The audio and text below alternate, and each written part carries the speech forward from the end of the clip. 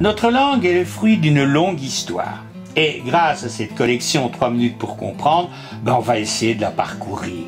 Alors le livre vous offre 50 moments clés, on n'en verra que quelques-uns. Par exemple, on verra le rôle de notre ancêtre le Gaulois. Alors quand on dit notre ancêtre, c'est une plaisanterie. Enfin, après, ça va jouer un rôle. On parlera de l'influence grecque, due aussi notamment au fait que les Grecs s'étaient installés à Marseille. Et ça, ça aura une importance. Alors évidemment, on parlera du latin, mais il y a le latin classique, mais il y a surtout le latin du peuple, que Cicéron trouvait vulgaire. Bon, enfin, on va appeler ça latin populaire, c'est plus sympa. Un latin populaire qu'on a reconstitué notamment grâce au graffiti qu'on trouvait à Pompéi. Alors ça passe du latin au français, la prononciation évolue pendant six siècles sans qu'on écrive la langue. Oh, et puis alors Charlemagne va faire une renaissance qui aura une influence énorme. Alors on reparlera aussi des glosses de Reichenau. Alors les glosses de Reichenau, c'est gag. Hein. En fait, les prêtres, euh, bon, faisaient des prêches, et les glosses, c'est un aide-mémoire pour indiquer aux prêches les mots que le peuple employait. Parce que le, prêtre parlait latin, évidemment. Alors, euh, les glosses disaient, attention, quand vous dites ce mot-là, il comprend pas le peuple. Donc, il faut dire tel autre mot. Et grâce aux glosses, ben, on voit comment les gens parlaient cette époque, qui est le 9e siècle. Euh, bon, c'est pas encore du français, hein, mais ça prend le chemin. Alors la langue évolue, les juristes vont jouer un rôle.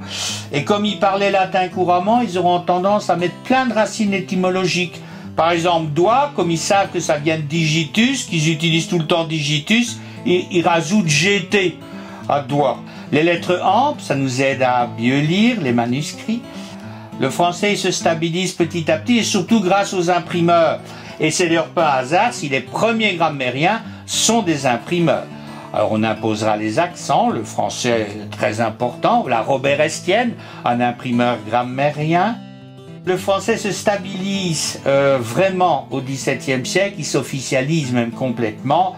Alors il y aura des grands grammairiens, on parlera de Vaugelas, le rôle des précieuses qu'on sous-estime trop souvent.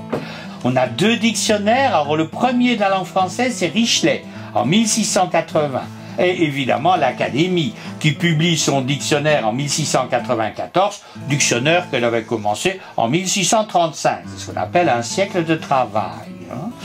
On rajoute deux nouvelles lettres, le J et le V. Les accents deviennent très importants de plus en plus. Les participes passés vont se développer. Alors Clément Barrault les avait déjà bien amenés au XVIe siècle. Alors au XIXe, on se spécialise. On fait des dictées, c'est à ce moment-là que ça devient si populaire. Et puis là, on va essayer de simplifier. Oui, mais on réussira jamais à la simplifier. Ça, c'est comme ça. Ça fait pratiquement 150 ans. Enfin bon, on a essayé avant, mais avant on réussissait un peu.